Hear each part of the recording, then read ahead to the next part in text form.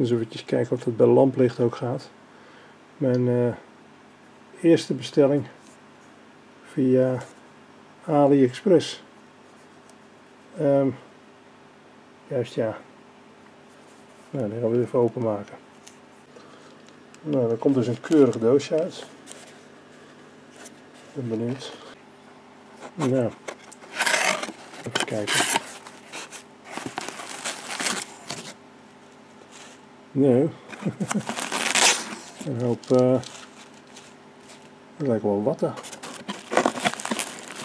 Ja. Dat met één hand. Ja, dat red ik vast met één hand. Ik weet niet of het te zien is, maar het is een uh, Stirling motor. Heel klein.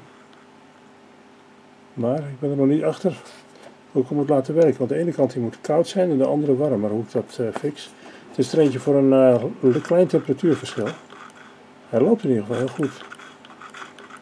Dus, uh, maar er was een beetje teleurstelling, want er horen ook nog twee antennetjes bij te zitten. Die zitten niet in de verpakking. Dus uh, daar moet ik wel even achterheen. Of die nou apart verstuurd worden of... volgens mij zat het erbij in zijn, maar op de, op de pakbonden staat in ieder geval dat alleen dit erin zit.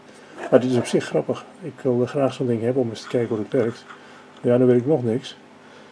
Want hoe moet ik aan de ene kant opwarmen en aan de andere kant... Uh, ik dacht dat er twee schoteltjes in zaten. Hij zou met warm water werken, maar ja, hoe dat, uh, hoe dat moet, geen idee. Dit is niet helemaal uh, vochtdicht, deze zijkant. Ongetwijfeld niet.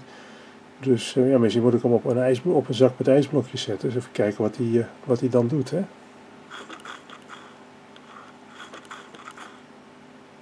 Nou goed, we gaan het meemaken. Vliegwiel en een zuigertje. Het zuigertje is niet zo groot, dus het uh, openheertje, maar de zuiger zelf die is wel heel groot. Die zit namelijk hier. En het gaat om de, om de gasstroming. Hè? Nou, we zullen zien. Het is in ieder geval een heel decoratief object en hij is mooier dan dat hij op het plaatje was. Dus dat is ook wel heel wat.